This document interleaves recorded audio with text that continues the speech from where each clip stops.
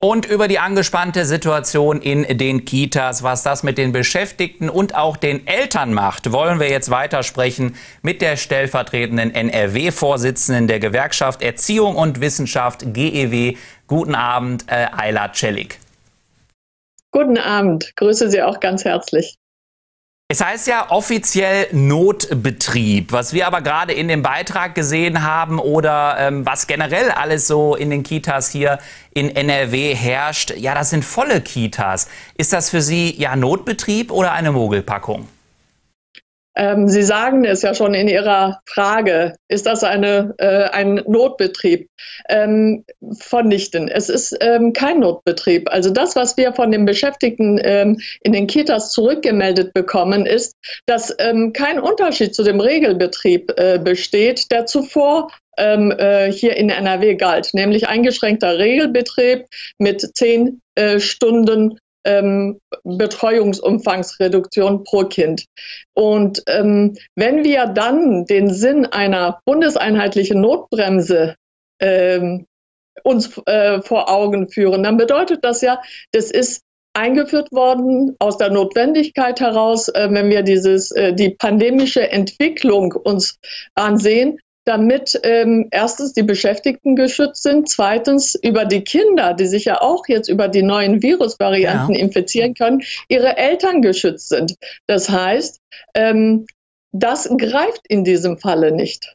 Ja, und äh, man hat jetzt schon äh, davon gehört, dass es eben an dieser Eigenerklärung, an dieser Bescheinigung von den Eltern liegt, um ihre Kinder in die Betreuung zu geben, was keine große Hürde ist. Also man kann sich quasi selbst eine Bescheinigung ausstellen ähm, und ähm, ja, vielleicht da auch ein bisschen ausnutzen, aus der Not geboren, dann auch ähm, bei den Eltern, aber auch ausnutzen, obwohl man eigentlich eine andere Betreuung ja anderweitig möglich machen könnte.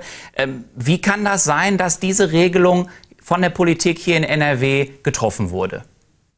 Also ich kann den Eltern nicht verdenken, wenn sie die Möglichkeit haben, äh, dass sie sich selber verpflichten, äh, zu sagen, ich behalte mein Kind oder ich habe die Möglichkeit, das, äh, mein Kind in die Ta äh, Kindertageseinrichtung zu bringen, dass sie dann davon Gebrauch machen, weil sie sich ja auch in einem Notzustand oft äh, befinden. Hier fehlen natürlich klare kommunizierte Vorgaben seitens des Ministeriums.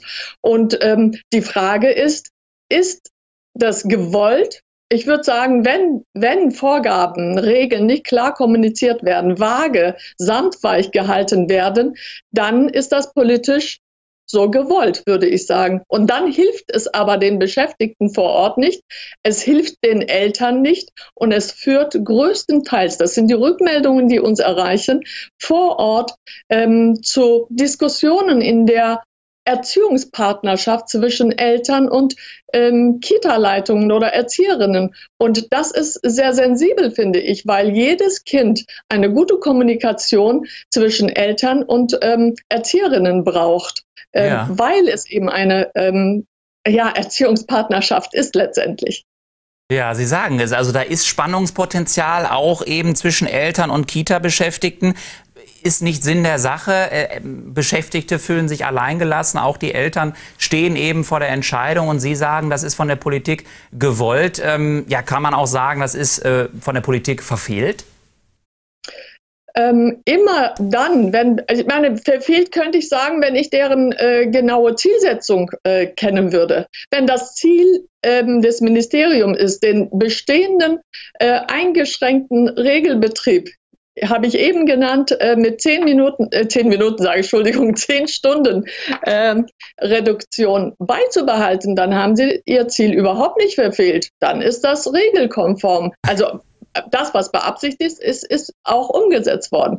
Aber wenn wir sagen, Ziel des Ganzen sollte sein, dass ein Notbetrieb ähm, stattfindet und dass die Infektion eingedämmt werden soll darüber, dann ist das Ziel verfehlt.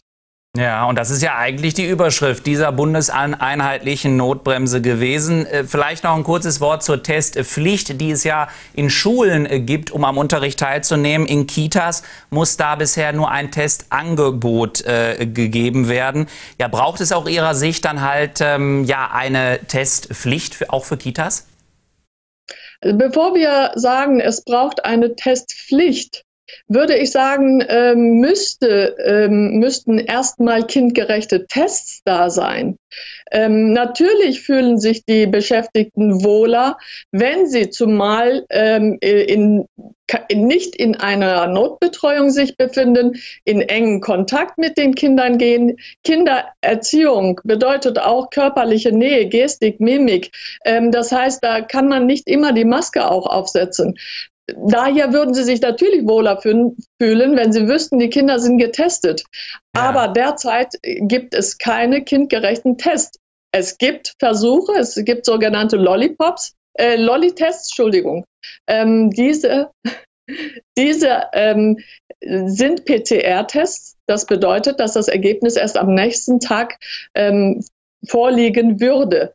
Und ähm, die Laborkapazitäten sind derzeit nicht so ausgereift, dass das flächendeckend für alle ähm, Kitas ähm, angeboten ja. werden könnte. Und da, finde ich, liegt die Schwierigkeit. Also bevor man eine Pflicht äh, einführt, müsste flächendeckend gewährleistet sein, dass diese Tests kindgerecht auch durchgeführt werden können. Ja, da liegt also das Problem. Oder man müsste eben auf der anderen Seite ja mal wieder einen äh, wirklichen Notbetrieb einführen, so wie im Frühjahr 2020. So habe ich Sie verstanden. Und ich bedanke mich für das Gespräch. Ayla Celik, stellvertretende NRW-Vorsitzende der GEW. Dann bedanke mich ebenfalls.